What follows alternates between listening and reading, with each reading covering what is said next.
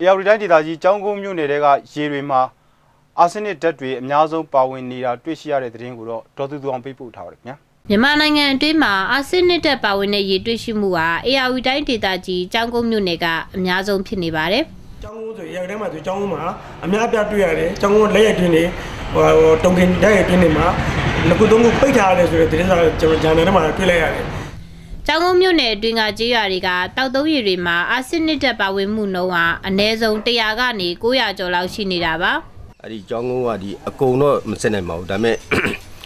ဒီအရေးကြီးတဲ့ဒေတာတွေဖြစ်တဲ့ကွင်းကြီးကညင်သုံးစင်းဇေယကွင်းတကွန်နိုင်ပြိုက်ကိုင်းတာသစ်စိန်ကုန်းကွန်းညံကုန်းပေါ့နော်အဲ့ဒီအုပ်စုတွေမှာရှိတဲ့အာဆင်းနစ်ဒီ100နဲ့အထက်ဖြစ်နေတဲ့ရွာတွေပေါ့နောက်ကျွန်တော်တို့ဒီအထူးအဖြစ်တော့အဲကျောင်းကုန်းဒီ သစ်စိန်ကုန်းကြီးရွာမှာဆိုရင်သူကအာဆင်းနစ်900ကျော်လောက်ထိလည်းရှိတာတွေ့တယ်နောက်တော့ကတချို့900ကျော်တွေ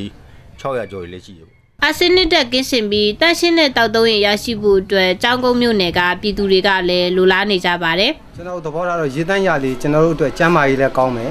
ကျွန်တော်တို့ပိုးပြောတာပေါ့နော်ရေကောင်းရေတန်းတောက်ရတယ်ဆိုတော့ပိုပြီးတော့အဆင်ပြေတာပေါ့အာဆစ်နစ်တက်ပါတဲ့ရေကိုတောက်သုံးမိရင်အသက်ယောဂအဆုတ်ယောဂနဲ့ကိစ္စယောဂတွေဖြစ်နိုင်တယ်လို့သိရပါတယ်ရှင်။ကျမတူတူအောင်ကသတင်းပေးပို့ထားတာပါ။